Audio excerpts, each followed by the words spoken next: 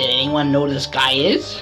The guy who ever steals the videos, like he wants to be an idiot, like a freako? The name of this guy who loves to play Tales of Gaming? That guy? You know, Tales of Game was then terminated from two years ago. In fact, his gameplays is always says eat, sleep, and play. Well, it's kind of like a kiddie game, like Tales is not making stories. They're just playing Siphon Filter to make some money. I mean, no, they're making some views and get some subscribers. But Tales of Gaming couldn't keep it up, so you have to give it to someone or something to make up the money and the viewers. Try to get some comments into his videos, see how the gameplay works. And Tales of Gaming's experience goes up, he just actually experience with his gameplay and then do a commentary all the Siphon Filter. Mostly he finished Siphon Filter 3, which is completely done for his playthrough. But he has ideas what he could have bigger. What Tales of Gaming could have done by stealing other people's videos. He couldn't even like focus on his own stuff. He made good stories while the PS3 was going. But now the PS3 is down, Tales of Gaming sticks with other things like PS2, no, PS1 games, Siphon Filter. You could just play Siphon Filter and make this thing. It would be a lot of fun and crazy shit you could do that. But what is the purpose of Tales of Gaming and it's looking like? What's its issue is stealing a video from Snurp's channel for a reason. what happened if it could have been Tales of Gaming too? It could have been Tales of Gaming and Friends, like you the videos will be the characters who will be matching for. If you will not notice how this happened, like these two are playing Bug Pro, no, not Bug.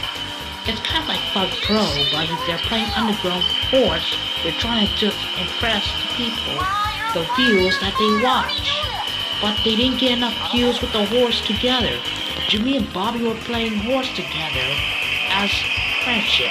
But Jack also plays horse as well. Ken didn't play horse of Tony Hawk at all. But why did he only choose to play Tony Hawk? But Tony Hawk puts here four, three, no, Hawk puts here four, Bug 1 and Bug 2 in American Wasteland, but in fact, Bobby shows you how to do something. Teaches Ken how to play a game, but he's not saying any word at his first place. But next, they just play Los Angeles. What they complain that Jack doesn't like likes Los Angeles from Hawk Pro 3. Bobby claims that he doesn't like the classic levels because he thinks that is shit or old. They try to make money off of this horse old style they try but the Tale of Gaming is bringing some old style, not just around 2012 or 13, which is which. And this way, the Tales of Gaming's first time playing Get Out of Hell from Saints Row. He's trying to play the game of Get Out of Hell. It's of, it's kind of interesting, but he didn't get any views. Maybe like he got like at least 40 views at this time.